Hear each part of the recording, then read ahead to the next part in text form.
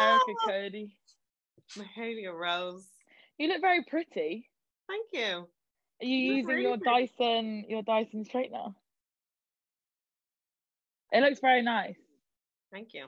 It's very good. I have to say, it's very good. How I'm are you? impressed. I'm good. How are you? I'm good. Busy, busy. Busy, busy. It's been it's been a busy week, but it's nice actually. Today is quite calm, Yeah, it's quite mad because you literally haven't done this in like over a year. babe. Like I haven't like even this. Like Zoom calls at the minute, I'm just like, have you seen the meme where the guy's like, how do I find the link? Like running to like running to find the link. Oh god, it's so funny, and I feel like that's me at the minute. It's I'm so like, babe, just then I was throwing sushi in my mouth and holding the laptop trying to find the Zoom link. that like, was the- literally what I was doing. I was doing like a DIY project. I was like painting a cabinet or something to put my. You're always painting. It's just really therapeutic. I love it. what are you doing at the minute? Um, what am I doing at the minute? Like in life, or like literally an hour ago In life. in life? Um, literally just getting all these songs for this project to mix. Um, Wait, so you're making a project? making a project. Do we have a name? We do have a name. What's the name? Am I allowed to know? Well, I'm obviously not going to tell the name. Oh, but you'll tell me after. oh, obviously, yeah. I was gonna send you some demos before this, and I was like, nah, we need to have our little moment. but um, yeah, that's basically just been life is going on 50 million walks a day and yeah, God. just looking for shit to do when I'm not writing music. Yeah. Because it's just Yeah. everything is just kind of post production at the moment. So it's just kind of fine tuning things, getting them sent to mix, and then walking. Oh, it's so tedious. Yeah, like I just feel it's that time. You you like you know when you know you have an end project, but it's just having to do all the other stuff beforehand. It's Yeah. just like oh, I hear you. you know. Yeah, fully. And that's like I, but also I think like because because everybody's frozen and like everybody's still right now, it's hard it's really hard to stay driven in that and like Yeah. stay inspired and keep pushing forward. Like I have days where like my manager will call me and be like, I can't get hold of you. Mhm. And I'm like, Yeah, girl, I know. I know. Yeah, yeah, we know. Okay, I knew that this was going to come up at some point. Erica actually secretly hates me because she can never get hold of me, but a bitch is never on her phone. Like you wrote "Do Not Disturb" for a reason, but like I feel that's like me. Yeah, but girl, yeah, but to be fair, right, and this is actually not even me being weird. This is actually a good topic of conversation. Are you not bored of sitting on Zoom and FaceTime? And like normally by now, I would have seen you. That's what's pissing me off. Yeah, yeah. Like this is the longest we've gone without seeing each other. Like at least at this point, Yeah. it'd be I like think okay, like, like when I see like you come here and you stay with me for five days, I come there and I stay for days. Like yeah. this It's- is just annoying. You know what it is? It's like I'm actually finding it really hard to connect with my closest friends Same. via text message or FaceTime. And it, it's because it's, I'm like, okay, well, what are we going to talk about when we actually get to see each other? Do you know what I mean? And then it, it becomes a thing of like, you, you, it's like you don't even know how to communicate anymore, kind of. And Yeah, it's like you kind of do it for the sake of doing it.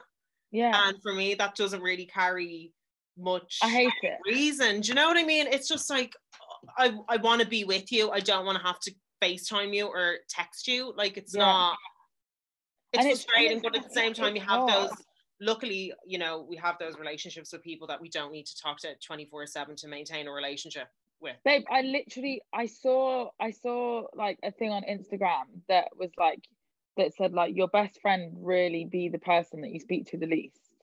Absolutely. Like I like when I really deep it, I'm like, raw, like even through this lockdown, like, I don't speak to anyone every day. My mum could put could get hold of me every day, Yeah. but I, but there's no one.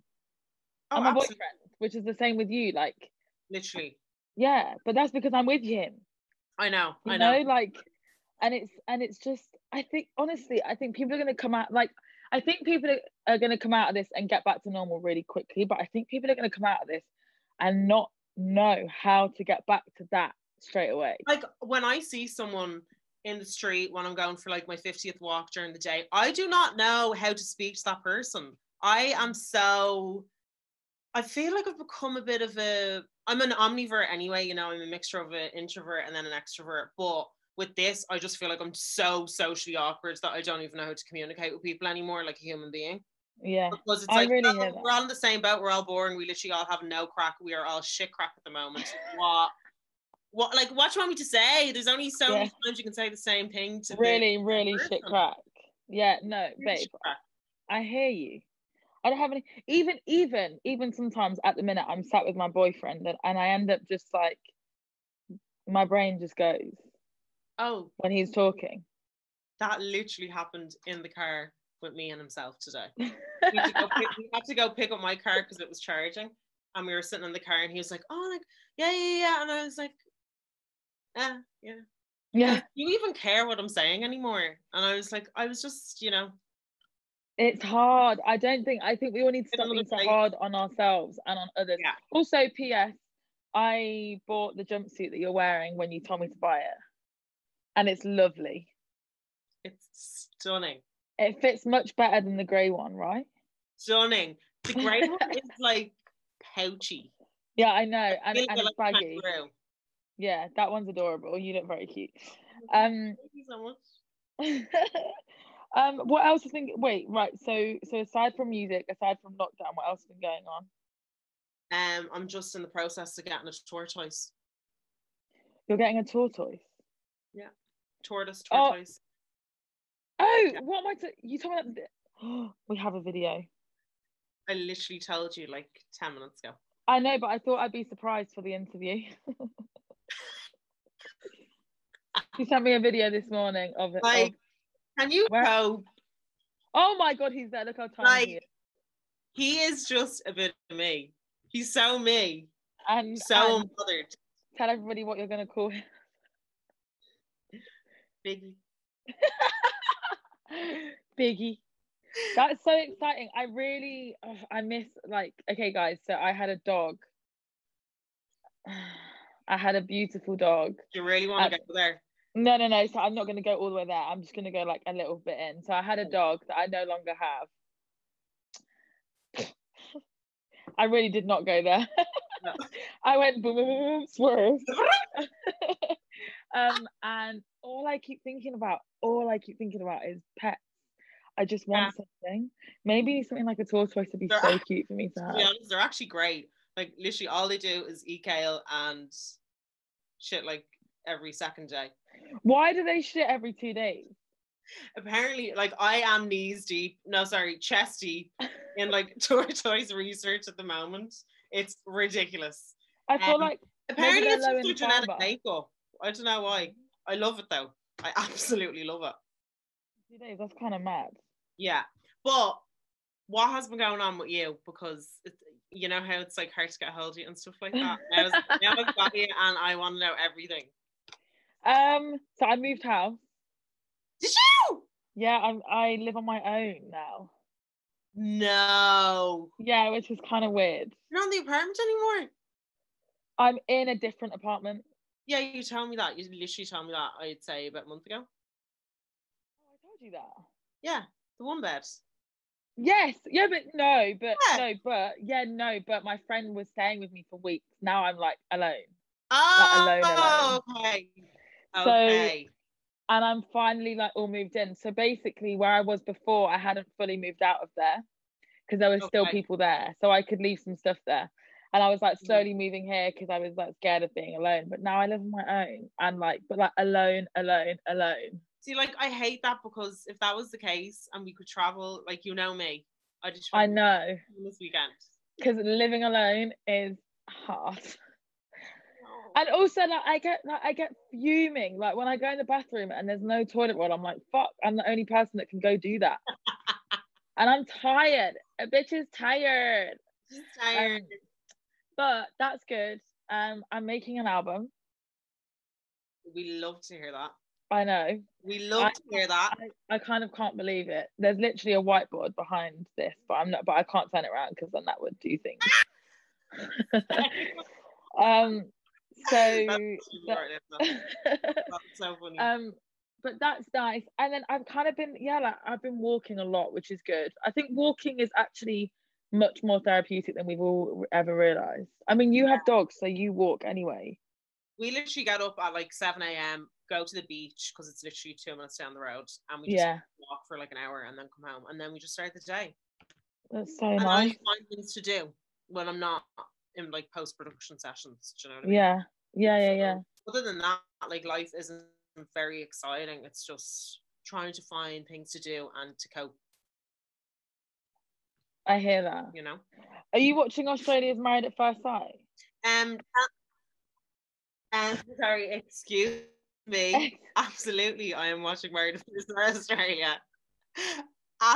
Absolutely. Sorry, can we actually take a moment to talk about Cyrell? God. Hold on, am I freezing?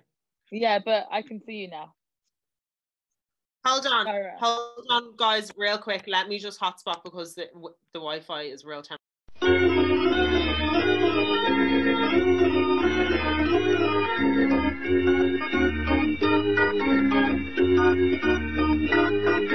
Okay. um so Sorry, i'm not wait so i'm not i'm not all the way caught up with married at first sight what episode are you on?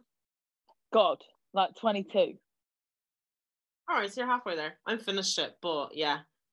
So I've not. No, we need. Okay, so throwback, Ines. Who? Oh no, I actually can't talk about her without getting really angry. Like she makes me really angry. I just She don't. is a wreck. people. She is I a was, train wreck of a human being. I'm sorry. Oh She's just not nice. I don't like not nice people. I really I don't. I I, really I, I was watching that show, literally going like, what? What imagine. Like what? And like, listen, you know me. Like, listen, people have their shit. Like, some people are negative because of whatever reasons, or like that's fine. Like, like what's funny is that Cyrell. Sorry for anyone that's not watched Australia's Married at First Sight, but you really fucking Give it should. all the way. really should. So and then so like someone like Cyrell, I find quite interesting because I'm like I see, like I've obviously not gotten to the end, so I've not seen everything, but it's quite like she's clearly a scorned woman. Like she's someone who's who's experienced pain, she's felt that pain, and then she's like, Yeah. and you and like that oozes out of her completely. And like, like I was watching some scenes going, God, like I do remember that feeling of like when you're that scared, you do self sabotage and you like, and it's funny, like, not to relate this to us at all, but it's just like, you know, going through lockdown in relationships has been a mess. Like, we've all been figuring out, like, who Absolutely. we are, who our partners are, who Mhm. we are in relationships. And like, I've definitely had some Cyrell moments. I've had some moments of going to my guy, like, you don't give a ah, damn. You Daily. just don't, like, of course. Daily. Because And it's, hard. Yeah. And now imagine they're almost in like, they're almost in like a weird warped lockdown because they're in these apartments and they have to just be married. And I'm It's watching it like, this is like my boyfriend was loving it. He was watching like, this is amazing. I'm learning so much. And I'm like, of course you are, because they're literally in the same situation that they're sat in That's apartments so together. true. Yeah, I didn't think about it that way, but yeah. yeah. Can you imagine? No, I, I don't want to imagine. I really don't. I can't. This series has been scandalous. Like, if you were just to just to describe it in one word, Scandal, baby. oh my god, don't even talk to me about Scandal. That was my show. Bitch, we've been watching true. so much TV. This year, So I've watched so much TV. Like so much. I know, it's been amazing. It's ridiculous. We should be talking about music, but TV's better.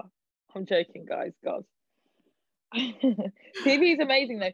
I feel like I've been getting all my inspiration from TV. Really? Yeah, I wrote a song literally about Bridgerton. Have you seen Bridgerton? I have. it's intense. Oh, I love Bridgerton. If you're under the age of 18, Bridgerton is not for you. I actually can't. Yeah, that was a, a bit much at times, but I love it. a bit much but i loved like you know so when so what's bridgerton like it's like set in like i don't know It's like a period drama that's like amalgamated diverse. with a, a sitcom slash rom com slash porn. I hear that that was such a good answer It's the only way I can describe it. slash porn It's a whirlwind. it's a whirlwind but so you know how like so like obviously like in that time right the way to court a woman you would go to the parties or the events and you'd be in So insane. like yeah and like you'd be out in society and you would court her so you'd go to her and you'd ask her to dance i love that. There's something about that that i love. And there's something about that that that that life that i just love. So just- was yeah so i was like i was really inspired by it. And i literally just wrote a song about that moment like where like they come over and they like grab you and and and, and they, they have to write their name on your little book and then you go and dance like yeah mate give me some of that bruv. I'm so bored of going to like i mean not that i've been to a club in a year but i i, I think i'd prefer that than copping a wine in the corner of the fucking room bruv do you know what i mean I actually, I have no words. Sorry, my lip gloss is sticking to my lip. my sticking to my lip gloss. I have no words. I don't really know what to tell you, but I'm delighted you got to write a song about it and you were inspired. Because I mean, I don't know what the hell I'm getting inspired on these days. Really Everything is just deep, and I'm like, oh, Erica, you oh go so deep all the time. yeah but it's deep though babe Yeah, but deep enough. Like I always write in a way that it's deep, but it's like it's so subjective to the point that someone could take anything from it, yeah and it's playful i do hear you you know. But at the same time, it's like, oh, well, I know what this is about. yeah I, I have to listen to it over and over again. But it's actually fine because they're banging. So like, I'm really not complaining at all. like at all. it's banging no oh, i hear it uh, tell me about uh jealous. I actually really forgot the song there a second ago. I was gonna say nasty. um god yeah jealous Tell me about jealous. Come on. i mean you know i wrote jealous like i talk to you about the about neggy people in my life all the time Absolutely. i wrote i mean you too girl but no tea no shade but i wrote i wrote jealous because i was really pissed off Good. like I was experiencing some shit with some people. Everybody assumes that, that it's girls, but it was actually mostly boys. Like Mm. some of some of my closest guy friends, I was like having real issues with, like when it came to, you know, just just talking about shit to do with me. I think people were just getting offended, and Mm. like I had a couple weird comments thrown my way, or like a couple comments about, you know, I don't know, like I like so you see how like our friendship has now what it's been five years of us like being close like this. Yeah, yeah, nearly five years. And like you'll call can't even think about that. Sorry, I that's just like sent me. on- but like Sorry, so we both do music, so we have that in common. But like you'll call me four days in a row and I might not answer the phone, mm. right? And then I'll call you back. Or whatever happens, there's a there's a there's a mutual respect. yeah, there's a mutual respect and there's a respect where i love you you love me you know that i'm not like there's no what i mean is there's an understanding. There's an understanding, and it's not like I. Just me personally, I don't take it to heart if someone doesn't pick up my call because I'm like, okay, life gets in the way. I'm Yeah. not friends with people who, um, I hate to say need me too much, but people who expect a lot from me when yeah i'm say will get in the way. Do you know what I mean? Yeah. Because to me, that's not realistic. Jesus, I die for my friends, but I wouldn't. I'd. I'd hate for someone to rely on me to the point that if I don't pick up the phone when they call, that that's the end of a friendship. Because I've been friends with people like that before, sips tea, and it does not work. So completely agree and that's where i was and i was like you know i was having friends say things to me about who i think i am now I see. I don't like that. I don't like when people try to tell me what kind of person I am. When I, I'm, it took me a long time to be very sure of the person I am. Yeah. So when people do that, they try and set you back, and that's not. yeah and i just can't i just can't stand that because people really you know projection's a real thing and when people are talking about that they're really just talking about themselves and like i had like i had a like there's certain buzzwords like bitch and selfish and Mhm. like just all these words being flung at me and this was like the end of summer so i and i was like, i was going through some shit Mm. I've been in lockdown. Like Yeah, my thing that I was trying to explain to a lot of my friends was like, we've all lost so much in this, right? We've all lost a lot from financially to just even just to like, you know, personally or professionally, whatever. Life, We've all lost a lot. Yeah. And and trying to explain because like, you know, I really my friends were really well, my friends, pe- these people were like really going to me like like what have you lost like you're still you you're still mahalia you're still da, da, da. and my thing was like i don't think you understand like i just spent two years of my life not in this city on the road in different cities and now i'm trying to build a life Mhm. as an artist here is i so don't have any friends here Yeah. yeah, This is like a whole. I feel like this is a whole new world for you because it's it's I new. Remember how, like, how not like not removed from life that you were, but you were just so uh in tour life that it just yeah became you. It was it was all you knew. So you didn't know how to really just sit with yourself and live alone. That's like when you started living alone, I was like, "Shit, I hope she's okay. Do you know what I mean? 'Cause She Yeah. hasn't lived alone in and i fucking wasn't ever. yeah and i wasn't know? i So like I literally, I mean, where I'm sat right, like I slept on the sofa for the first month when I lived alone because I couldn't bear to go in the bedroom. And I had friends going to me, What have you lost? And I remember just being like, Oh, do you know what? Shut up. I don't get it.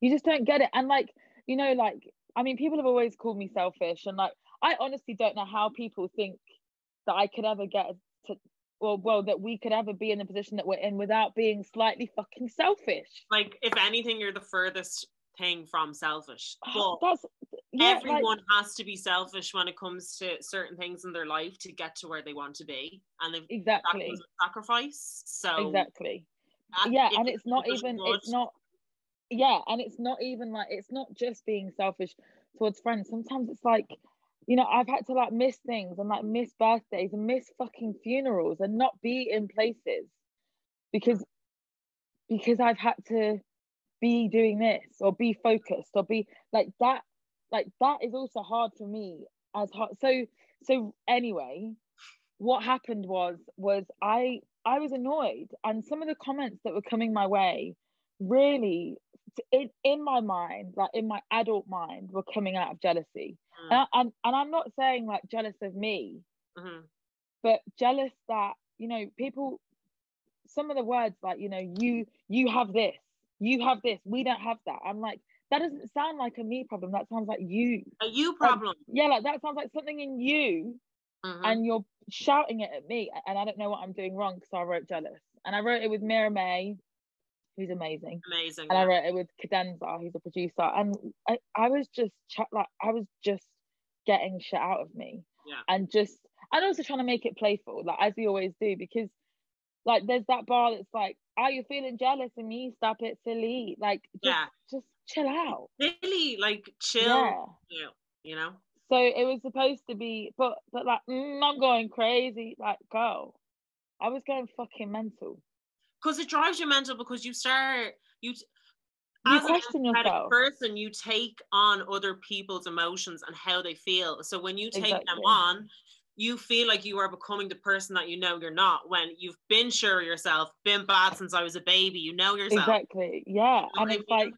like yeah and like i think when you're because we're like we're all songwriters so we all are natural empathizers Mhm. and it's like you're right like when somebody would say to me you're this you're doing this to me i would go god yeah Am I it makes you take a look at yourself because you're an Yeah, like, empathetic what am I person you're like shit Yeah. if I actually hurt your feelings i'm really sorry but yeah if something just doesn't sit right with your gut and someone is making you feel a type of way, then you know that it's not a, it's not a you problem, it's a them problem. If, of, of course. And I think it's important that all of us, you know, anybody who feels that knows like let go of that. It's mm. not your fault. People can be shit. Absolutely. And you have to just believe in yeah, like you have to believe in your energy above anyone else's. And like that's where it came you were from. saying was just like you have something that I don't have. It's like we all have something that other people All of us. have. We're all When have we not felt that? Yeah. When have I not looked at Kylie Jenner's Bentley and gone, fuck's sake? Do you know what I mean? Like know. we all feel that. But And I I think just it could be the simplest thing or the most luxurious thing. But Yeah. regardless, we all have something that other people have. We don't have something that other people have. If that makes sense. hundred percent. Babe, I want your blonde highlights, but I can't bother to damage my hair. Oh my god! and I yours was, looks lovely. I was going to say this to you. I'm really thinking of going back dark. Really? Yeah, but, But the blonde is so cute. I've just come so far with the blonde. I I I would love wanna do go. that. would love to do that. I was gonna get a wig, a dark wig, and then I was like, but why would I want to hide my blonde hair? So I'm really, I'm really No. You could get a dark wig. That'd be lit. I know, but still, like, I, Why don't I send you one and you just try it and see how you feel? oh my god, we actually, yeah. we're gonna drop like 500 quid on a new wig. so then everybody can be jealous. you can be jealous of me. My black hair's a fleek.